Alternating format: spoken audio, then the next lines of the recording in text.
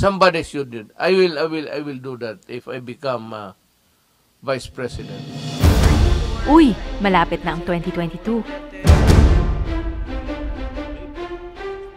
We were right that uh, kailangan na siguro ng direksyon.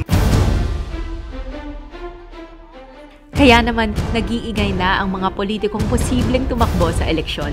Kung para sa iyo yan, magiging madali dahil nandyan yung ah, Diyos na magbubukas ng lahat ng mga opportunities. Pero gaano man sila kaingay, nakasalalay pa rin sa ating mga botante ang pagpili sa mga susunod na leader.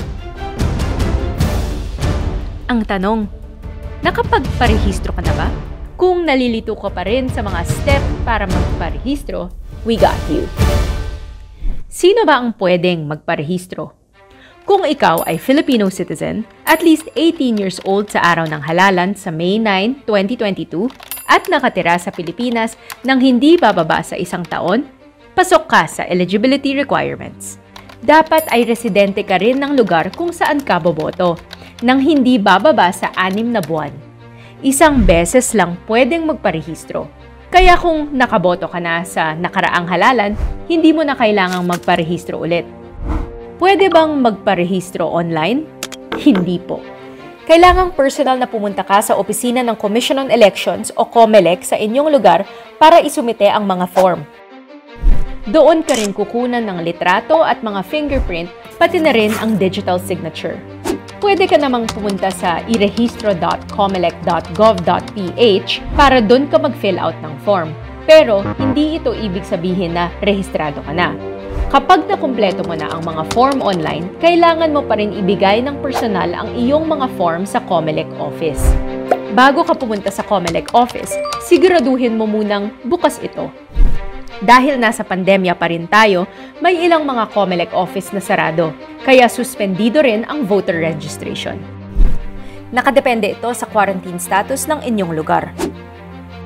Sarado ang mga COMELEC office sa mga lugar na isinailalim sa Enhanced Community Quarantine or ECQ.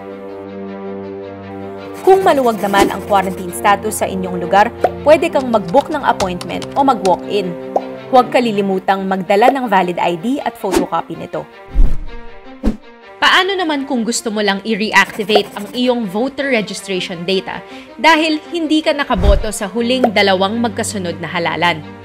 Pumunta lang sa COMELEC website at mag-fill out ng application form para sa reactivation of registration record. Pagkatapos ay iscan ang application form, valid ID at kung anumang mga kaukulang dokumento. I-send ang mga ito sa email address ng Office of the Election Officer. Para sa directory ng mga local na opisina ng COMELEC, pumunta lang sa website ng COMELEC.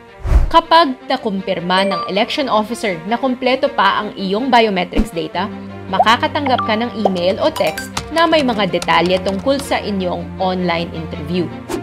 Sa interview, may mga itatanong lang ang election officer para kumpletuhin ang proseso ng iyong voter registration reactivation. Tandaan, hanggang September 30 na lang po ang voter registration.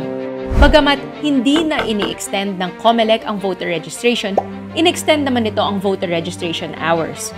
Bukas ang voter registration lunes hanggang biyernes, simula alas 8 ng umaga hanggang alas 7 ng gabi.